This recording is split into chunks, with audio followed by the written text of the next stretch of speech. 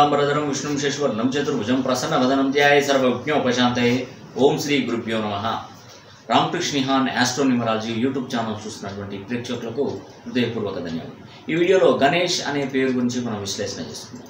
మరి గణేష్ అనే పేరు ఎన్ని అక్షరాల పేరు అంటే ఆరు అక్షరాల పేరు. మరి చాల్దిన పద్ధతిలో ఇరవై రెండు పైథాగరస్లో ఇరవై ఏడో నెంబర్ వస్తుంది. మరియు చాల్దిన పద్ధతిలో ఇరవై రెండో నెంబర్కు కాన్సనెంట్స్ పదహారు వస్తున్నాయి. ఇది చాలా ఇబ్బందికర సన్నివేశాలు ఎక్కువగా ఉంటాయి. మరి ఇరవై రెండు అంటే నాలుగు ఇరవై ఏడు అంటే తొమ్మిది ఫోర్ బై నైన్ కాంబినేషన్ తన పేరులో ఉంది. మరి తను పుట్టిన date of birth destiny number కూడా మనం తెలిసి ఉండాలి. ఆ destiny number date of birth తెలిస్తే ఇంకా పని సులువు అయిపోతుంది మరి గణేష్ అనే పేరులో అసలు సమస్య ఏంటి? ఈ గణేష్ అనే పేరు ఎవరు పెట్టుకున్నా కూడా ఇక్కడ ఆరు అక్షరాల పేరులో ఫోర్ బై నైన్ కాంబినేషన్ కనుక వచ్చినట్టయితే మన జీవితం ఎలా ఉంటుందనే అంశంపై ఈరోజు మీకు చర్చించి మీకు తెలియజేస్తాను.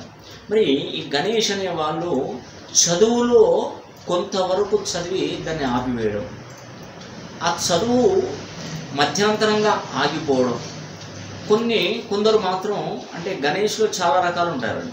ఎలా అంటే వాళ్ళకు కొంత బ్రెయిన్కు సంబంధించిన సమస్యలు కొంతమందికి వస్తాయి. అంటే చాలా ఉన్నాయండి. చాలా చాలా రకాలుగా ఉన్నాయి. మరి గణేష్ అనే వారికి బ్రెయిన్కు సంబంధించిన సమస్యలు. కొందరు మెకానిక్ వర్క్ నేర్చుకొని దాంట్లో డెవలప్మెంట్ లేక దాన్ని వదిలేసి వాహనాన్ని వాహనం నడుపుతూ ఉండేవాళ్ళు కొంతమంది. కొంతమంది చదివిన చదువు వాళ్ళకు ప్రయోజనం లేక ఖాళీగా ఉన్న పరిస్థితి కూడా కొంతమందికి. కొందరు మంచి చదువు చదివి వాళ్ళు ఒక ఒక స్కూల్లో కానీ కాలేజీలో కానీ వర్క్ చేసినా కూడా ప్రతిఫలం ఉండదు. అలా గణేష్ అనే పేరు ఎవరైతే పెట్టుకుంటారో ఎప్పుడు వెట్టి చాకిరి జీవితంలో అసలు ఎటు నుంచి ఎటు వెళ్తుంది నా లైఫ్ ఏంటి అనేది అని కూడా ఎవరికి అర్థం కాకుండా ఉండదు. అంటే గణేష్ అనే పేరులో వాళ్ళే ఆలోచిస్తారు. అసలు నా లైఫ్ ఏంటి? నేను అసలు ఎటు వెళ్ళాలి? ఏం చేయాలి? ఏ ప్రయత్నం చేస్తే నేను ముందుకు వెళ్తాను నా జీవితం అంతా టైం అంతా వేస్ట్ అయిపోతుంది అని ఒక బాధ.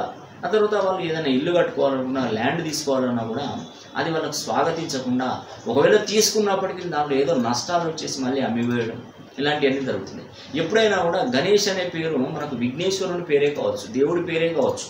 మరి మీరు నక్షత్ర ప్రకారం పెట్టుకున్నారా దేని ప్రకారం పెట్టుకున్నారా? అసలు పేరులో బలం అనేది కూడా మీకు తెలుసా? అంటే ఇప్పుడు ఈ కాలంలో న్యూమరాలజీ వచ్చిందండి గత పదిహేను ఇరవై సంవత్సరం అంతకుముందు న్యూమరాలజీ ఎక్కడండి? ఓన్లీ ఆస్ట్రాలజీ ఆస్ట్రాలజీ దాని ప్రకారం పేరు కానీ ఇక్కడ మానవుడు అనేవాడు అప్డేట్ చేసుకున్నాడు వ్యవస్థను.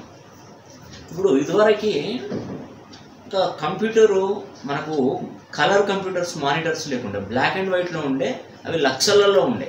అది ఒకరి ఇంట్లో ఒక కంప్యూటర్ ఉన్నదంటే ఎంతో గొప్ప వాళ్ళు అయి ఉంటారు. అలా మనకు రికార్డ్స్ అనేది కూడా గవర్నమెంట్ ఆఫీసులలో కేవలం రికార్డ్ రాసుకొని పక్కన పెట్టేవారు. అది బ్లాక్ అండ్ వైట్ కంప్యూటర్ వచ్చినప్పుడు దాంట్లో రికార్డ్స్ యూజ్ చేసి పెట్టుకునేవారు. అంటే మానవుడు ఏం చేశాడంటే అప్గ్రేడ్ అయ్యాడు. అంటే దాన్ని సులువుగా తీసుకోవడానికి మనకు ఈ యొక్క కంప్యూటర్లు అనేది కూడా చాలా చాలా ఉపయోగపడుతున్నాయి. అలాగా మనకు ఈ ఆస్ట్రాలజీ బదులు న్యూమరాలజీ ఎందుకు అప్గ్రేడ్ అయిందంటే మానవుడు సులువుగా పనులు చేసుకోవడానికి న్యూమరాలజీ అనేది కూడా చాలా అప్డేట్ అయింది. అలా అలా అలా అయినప్పుడు మానవుడు సృష్టించుకున్నదే కాబట్టి దాన్ని మనం ఫాలో అవడం ఎంతో గొప్ప ఆవశ్యకత. ఇప్పుడు black and white black and white computers వచ్చాయి. అప్పుడు ల్యాప్ ల్యాబ్స్ లేవు. ల్యాప్టాప్స్ అనేది లేవు. అది మనం ఇప్పుడు ఎక్కడికెక్కడ చంకలో చేతిలో పెట్టుకొని తీసుకొని వెళ్తున్నాం ల్యాప్టాప్ అలాగా కలర్ మానిటర్లు వచ్చేసాయి. బ్లాక్ అండ్ వైట్ని యూజ్ చేసిన వాళ్ళు లేరు అసలు. లేదు నేను ఇప్పటికీ నేను పీ ఫోర్ మానిటరే పీ ఫోర్ పీ ఫోర్ కంప్యూటర్లే వాడతాను. నేను అదే బ్లాక్ అండ్ వైట్ అని వాడతానంటే నీకు సిస్టమ్ స్లో అవుతుంది. ఇప్పుడు ర్యామ్స్ ఎంత స్పీడ్ ఉన్నాయండి? ర్యామ్స్ కానీ హార్డ్ డిస్క్ కానీ ఎంత స్పీడ్ ఉంది కంప్యూటర్లో అంటే ఇప్పుడు I five process I five IC I seven processors కూడా వచ్చేసాయి. అంటే ఒక మీటర్ నొక్కితే స్పీడ్గా మనకు డౌన్లోడ్ అవ్వడానికి ఎన్నో మార్గాలు ఉన్నాయి. పీ ఫోర్ మానిటర్లు వేసి ఒక్కసారి స్పీడ్ చేయండి అది చాలా టైం పడుతుంది. అంటే మానవుడు అప్డేట్ అయిపోతున్నాడు కాబట్టి నేను చెప్తున్నాను. కాబట్టి మీ పేరులో కూడా కొంత మార్పు న్యూమరాలజీ ప్రకారం తెచ్చుకోవాలి. న్యూమరాలజీ ప్రకారం తెచ్చుకుంటేనే మీకు డెవలప్మెంట్ అనేది కూడా ఉంటుంది. మరి గణేష్ అనే వారు ఎవరండి? ధనిష్ట నక్షత్రంలో పుట్టిన మకర రాశి వాళ్ళు ఈ గణేష్ అనే పేరు పెట్టుకుంటారు. మరి ఈ యొక్క ధనిష్ట నక్షత్రంలో పుట్టింది ఎవరండి? అష్టవసుడు. ఈ యొక్క ధనిష్ట నక్షత్రం అధిదేవత ఎవరు? కుజుడు. మరి మకర రాశి ఏంటంటే భూతత్వ రాశి. మకర రాశికి అధిపతి ఏంటంటే శని భగవానుడు. మరి ఇవన్నీ కూడా మనం చూసుకున్నప్పుడు మీ యొక్క బర్త్ నెంబర్ డెచ్ నెంబర్ నడిచే దశలు అంతర్దశలు గ్రహాల ఉచ్చ నీచ స్థానాలు పాప శుభ అశుభ గ్రహాలు ఇవన్నీ కూడా పరిశీలన నడిచే దశలలో కూడా కీలకమైన మార్పులు ఎలా వస్తాయి? పన్నెండు రాసులలో గ్రహాలు ఎలా సంచరిస్తాయి ఇవన్నీ కూడా మనం పరిశీలన చేసుకోవాలి.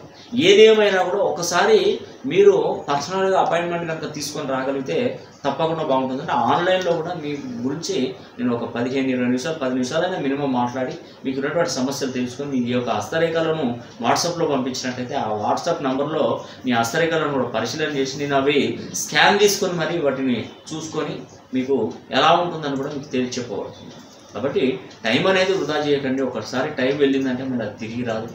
దయచేసి ప్రతి ఒక్కరు గమనించండి. సర్వేజన సుఖినో బాగుంటుంది